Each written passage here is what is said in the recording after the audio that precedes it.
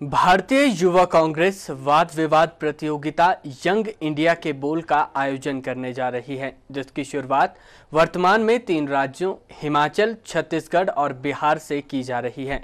कार्यक्रम के बारे में विस्तृत जानकारी देने के उद्देश्य से कांग्रेस मुख्यालय राजीव भवन में पत्रकार वार्ता का आयोजन किया गया, जिसमें महिला कांग्रेस की प्रदेशा अध्यक्ष जैनब चंदेल विशेष रूप से मौजूद रही। भारतीय युवा कांग्रेस देश के युवाओं में संचार कौशल विकसित करने के उद्देश्य से यंग इंडिया के बोल 2019 वाद विवाद प्रतियोगिता का आयोजन करने जा रही है। इस प्रतियोगिता के माध्यम से युवा सार्वजनिक रूप से बोलने की प्रतिभा के कौशल का प्रदर्शन कर पाएँगे। युवा प्रतिभाओं को मंच प्रदान करने के उद्देश्य से इस प्रतियोगिता का आयोजन किया जा रहा है। प्रतियोगिता को वर्तमान में तीन राज्यों, हिमाचल प्रदेश, छत्तीसगढ़ और बिहार में शुरू किया जा रहा है। मीडिया से बातचीत के दौरान महिला कांग्रेस की प्रदेशाध्यक्ष जैनब चंदेल ने कहा कि इस प्रतियोगिता में 18 से 35 वर्ष के कोई भी युवा भाग ले सकते हैं।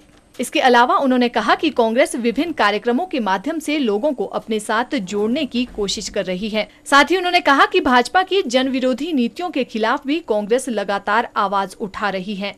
यंग इंडिया के नाम से यूथ कांग्रेस एक प्रोग्राम ये शुरू कर रहा है, जिसका हिमाचल प्रदेश छत्तीसगढ़ और बिहार में तीन स्टेट्स में ये लोग आज शुरू कर रहे हैं। आज हिमाचल में भी इसी संदर्भ में लॉन्च किया जा रहा है। इसमें हाँ ये कोशिश रहेगी कि पूरे हिमाचल से ग्रामीण क्षेत्र के बच्चे भी और किसी भी 18 से लेकर 35 साल की आयु के कोई भी बच्चा इसमें पार्टिसिपेट कर सकता है।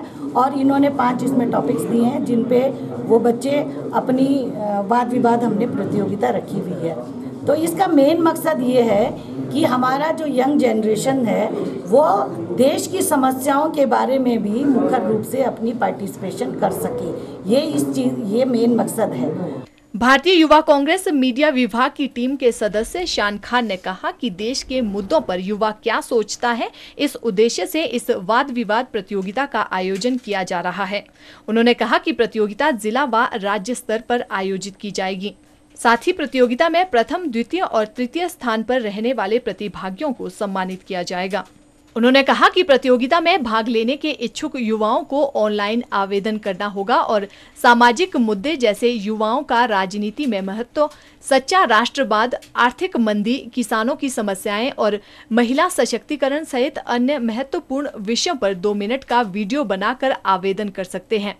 उन्होंने कहा कि प्रतियोगिता में भाग लेने के लिए 30 सितंबर तक आवेदन किए जा सकते हैं। बड़े व्यापक पैमाने पे कार्यक्रम शुरू हो रहा है। युवाओं को एक मंच देना इसका एक उद्देश्य है कि हमारा युवा क्या सोचता है देश के मुद्दों पर। उसकी आवाज़ को हम एक मंच देना चाहते हैं। और भविष्य की एक राजनीति में युवाओं की बड़ी भूमिका हो, उसके उद्देश्य से ये शुरू किया गया है। और हम इसमें प्रतियोगिता में जिला स्तर और राज्य स्तर की प्रतियोगिता करा रहे हैं। प्रथम चरण में बिहार हिमाचल प्रदेश और छत्तीसगढ़ का चयन किया गया है। तो आज हमने इस कार्यक्रम को लॉन्चिंग किया है और सार्वजनिक कार्यक्रम है।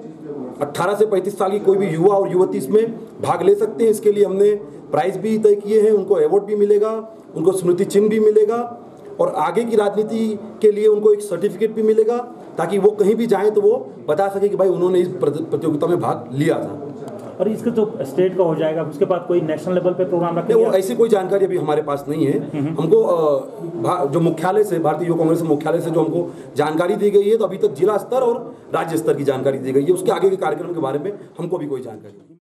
Bureau report city channel Shimla.